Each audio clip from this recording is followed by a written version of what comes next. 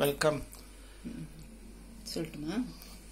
Welcome நலம் தானா viewers இன்னைக்கு பீட்ரூட் மசாலா பூரி செஞ்சுட்டு செய்ய போகிறோம் அதுக்கு தொட்டுக்கிறதுக்கு கருணக்கிழங்கு மசியல் செஞ்சுருக்கோம். உருளைக்கிழங்கு மசியலுக்கு பதிலாக இன்னைக்கு கருணக்கிழங்கு மசியல். இதில் வந்து கோதுமை மாவு நமக்கு வேணுங்கிற அளவுக்கு எடுத்துக்கணும். பீட்ரூட்டு கொஞ்சம் இஞ்சி பூண்டு பேஸ்ட்டு பச்சை மிளகா இல்லைன்னா வரமிளகாய் பொடி.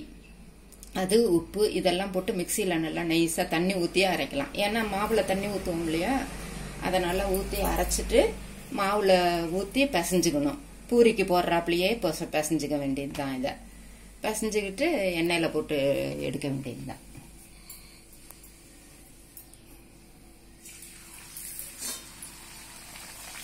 நல்லா ஊற்றி வரும்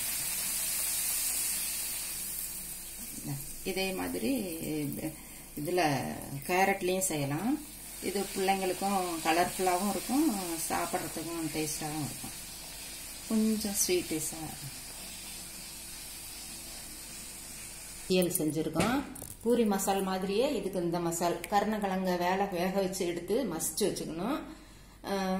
கடுகு உளுந்தம்பருப்பு வெங்காயம் பச்சை மிளகாய் கருவேப்பிலை கொத்தமல்லி இதெல்லாம் தாளிச்சிட்டு அந்த மசிச்சதை அதில் போட்டு தண்ணி ஊற்றி இது மாதிரி எடுத்து வச்சுக்க வேண்டியதுதான்.